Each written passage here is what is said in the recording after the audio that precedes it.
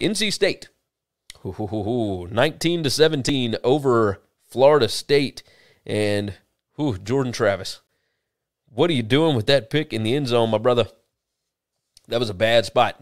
Bad spot late in that ball game. You had you had the field goal in your back pocket. If you had to if you had to rely on it, it was there.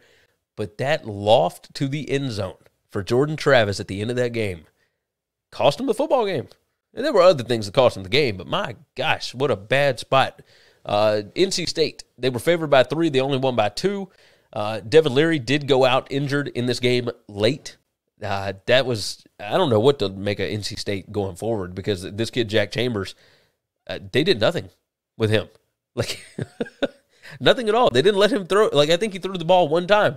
Uh, it was, it was not, not great. He ran the ball seven times for 39 yards. So I guess that's good. Uh, Jordan Houston ran the ball 24 times for 90 yards.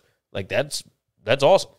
Uh, but overall, NC State won the turnover battle two to one. Florida State had two fourth down failures to just one for North Carolina State. Uh, Florida State won the yardage, 387 to 307. They won yards per play, 6.7 to 4.4. That's the second straight game that Florida State has won the yardage battle by a lot and then lost the game. Did the same thing against Wake Forest last week. Um, they won rushing, 206 to 182. They won drive points, 14 to 7. Florida State did all of this.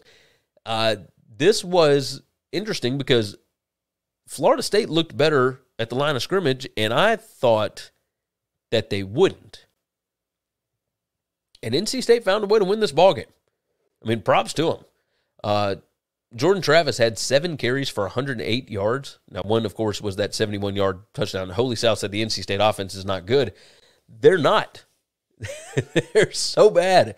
Like, if I'm Dave Doeren, uh, I liked the Tim Beck hire initially. I don't like it now that I've seen what he's trying to do. They they are so uncreative. Teams they're so predictable. I, I just I can't. You've got a guy in Devin Leary that a lot of people think is an NFL quarterback, and you don't let him go out and do anything with the ball. Like it just it blows my mind watching it because I think that they are I think they could be a lot better if you look at the pieces that they've actually got. And their play calling, their scheme is just brutal. Like it's not a good scheme at all. So I I have not been impressed with NC State's offense. I don't know if anybody that actually is, but that is that's just rough.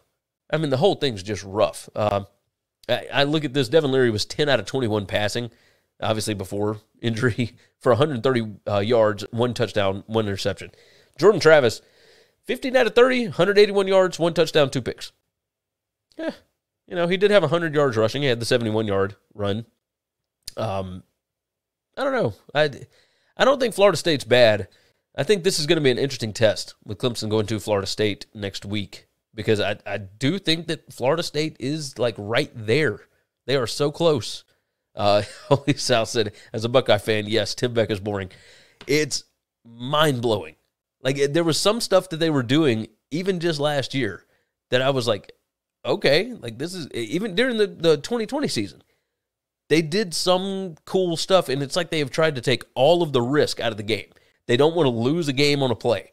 And it's like, yeah, but you got to do something to try and win the game. So what are what is the point here, NC State? Like what what are you trying to accomplish? And I can't figure it out. I can't figure it out.